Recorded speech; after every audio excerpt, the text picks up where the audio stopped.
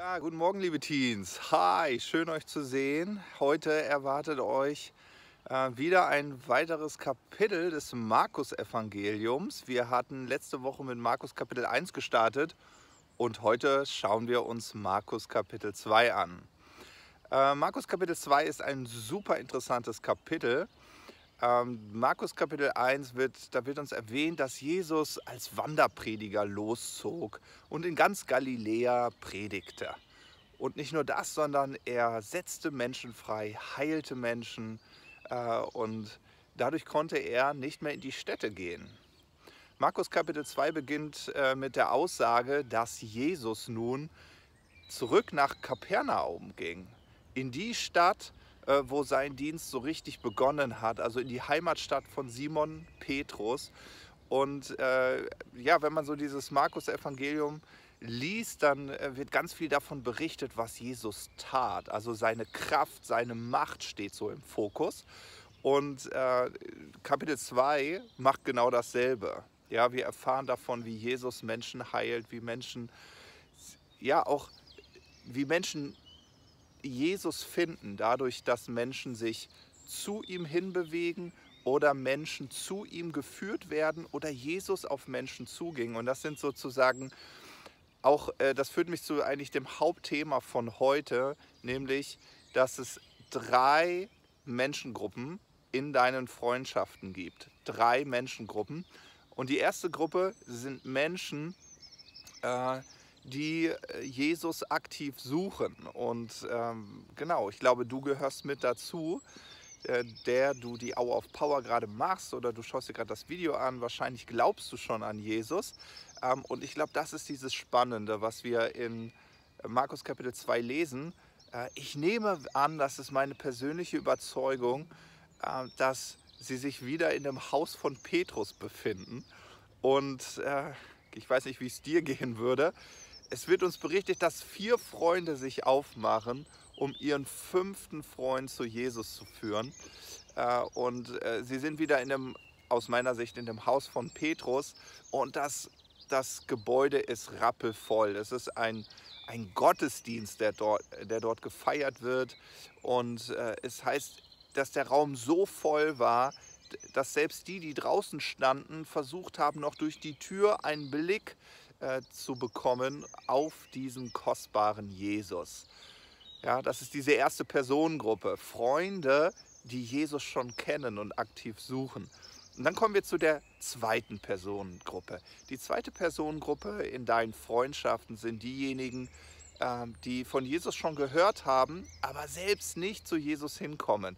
Die vielleicht von sich aus niemals an den Ort gelangen, wo Jesus zu finden ist, wie zum Beispiel ein Jugendgottesdienst, äh, deine Connect Group oder eben unser wunderbarer Leuchtfeuergottesdienst. Und ähm, ja, hier finden wir die Geschichte von den vier Freunden, die ihren gelähmten Freund äh, auf eine äh, Trage legen und ihn dann an diesen Ort führen, zu dem Haus von Petrus. Und als sie dort angelangen, das Dilemma ist groß, sie können Jesus äh, nicht erreichen. Also was tun sie? Sie decken das Dach ab. Und äh, das ist diese, diese zweite Personengruppe. Manchmal muss man sich einfach überwinden und seinen Freunden einfach sagen, hey, äh, ich habe dir doch mal schon von Jesus erzählt, du bist super begeistert. Komm, ich lade dich ein, komm heute mal mit mir zur Connect Group. Äh, besuch mit mir doch einfach gemeinsam unseren richtig genialen Jugendgottesdienst Fabrik 10 oder aber komm doch mal sonntags mit mir in die Leuchtfeuergemeinde. Das sind so Möglichkeiten, die wir haben, um Freunden eine Begegnung mit Jesus zu schenken.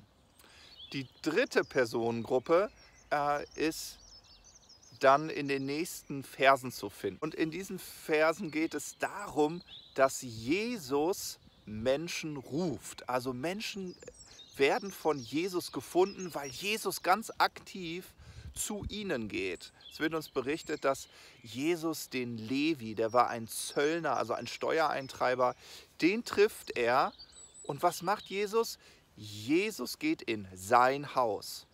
Und wer wird wohl in seinem Haus sein? Natürlich, wiederum Levis Freunde. Und Levis Freunde waren, na klar, Zöllner, seine Arbeitskollegen, seine Freunde, seine Gang. Und äh, genau, und Jesus ist dann dort. Und was macht Jesus? Jesus spricht mit ihnen. Jesus offenbart sich ihnen. Äh, und das ist die dritte Personengruppe, wie du Menschen und, oder deine Freunde für Jesus finden kannst. Nämlich indem du sie zu Hause besuchst, bei ihnen bist, in ihren Häusern. Und dazu möchte ich dich total ermutigen. Also, dass du äh, weißt, okay, es gibt Freunde, die kommen vielleicht nicht mit in den Gottesdienst, die Hürde ist zu hoch, aber ich kann zu ihnen gehen, in ihr Haus und kann ihnen mein Zeugnis weitergeben. Wir finden in Römer 10 ab Vers 13 eine ganz, ganz wichtige Aussage und äh, ich will euch die mal vorlesen. Ja? Also Römer 10 ab Vers 13, da heißt es, denn jeder, der den Namen des Herrn anrufen wird, wird errettet werden. Das heißt, äh, die Bibel ist ganz klar darin, dass Menschen, die in ihren Lebzeiten Jesus Christus nicht kennenlernen und ihr Leben nicht Jesus Christus anvertrauen, äh, dass sie ewig getrennt sein werden von Gott. Und äh, da diskutiert man auch gerne drüber, aber ich möchte euch, gerade euch Teens, so ermutigen, dass ihr wisst, warte mal, allein dein Glaube an Jesus Christus wird dich retten und wird deine Freunde retten. Ja, und und äh, hier Paulus, der den Römerbrief geschrieben hat, bringt diese Aussage auf den Punkt und sagt, denn jeder, der den Namen des Herrn, also von Jesus anrufen wird, der wird errettet werden. Dann heißt es aber weiter in Vers 14, wie sollen sie nun den anrufen, an den sie nicht geglaubt haben? Wie aber sollen sie an den glauben, von dem sie nicht gehört haben?